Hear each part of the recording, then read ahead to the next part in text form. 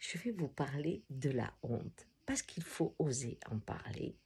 La honte, quand elle se place à un endroit qu'on n'imagine pas, celui du malade par exemple, il y a des fois où quand quelqu'un est migraineux ou a une maladie récurrente, eh bien il a honte d'être celui qui gâche la soirée, celui qui fait qu'on n'ira pas au cinéma, celui qui fait qu'on ne sortira pas ce soir. Il y a une honte à manifester, j'ai mal. Il y a des jours, c'est pas possible. On est honteux de vivre cette situation. Mais dans celui qui accompagne, celui qui vit avec, il y a des moments où il n'en peut plus de la maladie de l'autre et il se sent honteux d'avoir eu cette pensée. Vous voyez, la honte des deux côtés existe quand la situation, des fois, est trop difficile.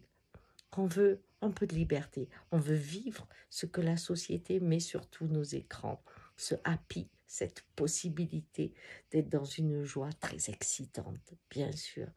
Alors, il est important de comprendre que la honte est des deux côtés et que dans un monde où il faut consommer en permanence, c'est difficile d'être celui qui freine. Mais il faut voir aussi que quand celui qui est malade a de très bons moments, il y a une telle joie, une telle excitation qu'il contamine l'ensemble qui est autour de lui parce qu'il profite de ces instants d'une façon intense.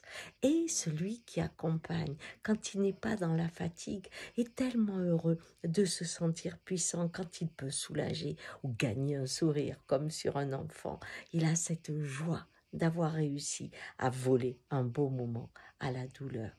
Vous voyez, laissez passer la honte. Elle dit juste, je suis fatiguée de vivre ça, mais tout passe.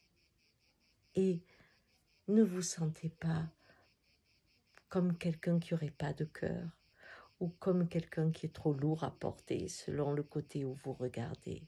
Paf.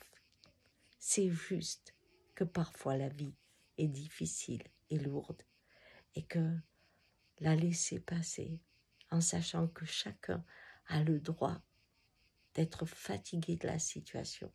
C'est une bonne façon de s'aimer encore plus. Ciao.